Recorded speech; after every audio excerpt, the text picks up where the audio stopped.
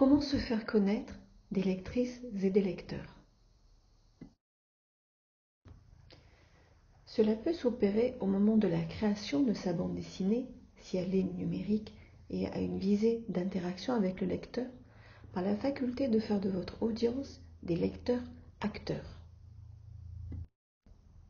Impliquer ces lectrices et ces lecteurs, en faire des lectrices et des lecteurs acteurs, cela passe par des outils de création qui ne reposent pas exclusivement sur la capacité de développer des fonctions interactives.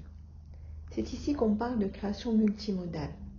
La multimodalité se caractérise par la présence de différents modèles iconiques, linguistiques et auditifs à l'intérieur d'un même document. Elle est toujours au moins à deux niveaux. Premièrement, on a une juxtaposition ou une combinaison des différents modes. Deuxièmement, ces mêmes modes ont une nature multimodale. Par exemple, une séquence vidéo va comprendre des images animées mais aussi des sons, les deux sont livrés conjointement à la lecture. Dans ce cadre, la BD a un rôle important parce que c'est un média littéraire hétérogène qui est constitué de la combinaison de deux vecteurs informationnels, l'écrit et le dessin, ce qui multiplie les portes d'entrée pour un lecteur qui serait étranger à la culture de l'auteur, dans de nouvelles formes de dialogue et en passant par le numérique. Elle peut alors devenir immersive. La création multimodale offre des ressources pour stimuler le sens, l'essence des lecteurs et lectrices dans la bande dessinée numérique interactive. Elle peut se traduire de différentes manières et par différents effets. Le principe du défilement vertical ou horizontal du strip ou du zoom plein écran, alors que la lecture papier s'opérerait plutôt de manière classique en mode horizontal. La BD multimodale numérique peut offrir d'autres mécanismes. La technique du parallaxe, qui consiste à mettre des objets sur plusieurs plans pour simuler la profondeur de champ. La perspective suit alors le mouvement du défilement. L'exemple le plus remarquable de ce procédé est celui de la bande dessinée Falena.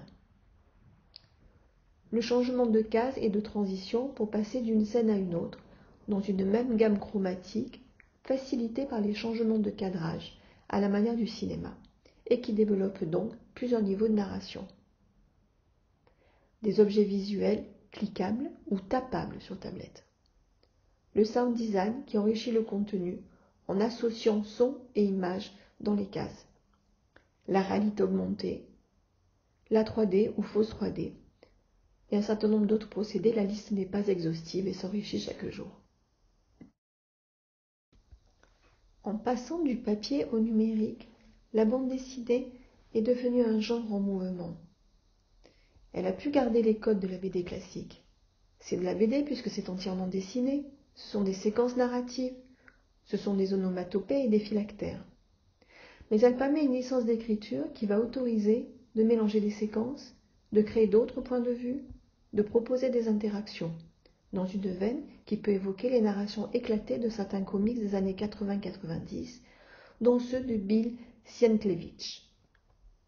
Ces créations appellent de nouvelles architectures narratives et peuvent intégrer de nouveaux dispositifs d'accès sur différents supports dans différentes configurations en direction des lecteurs. On parlera alors à l'étape de la création d'architecture narrative. Voici ici un exemple d'écosystème narratif qui a été développé pour le projet Deux ponts et de sang et qui se décline en plusieurs points d'entrée du récit.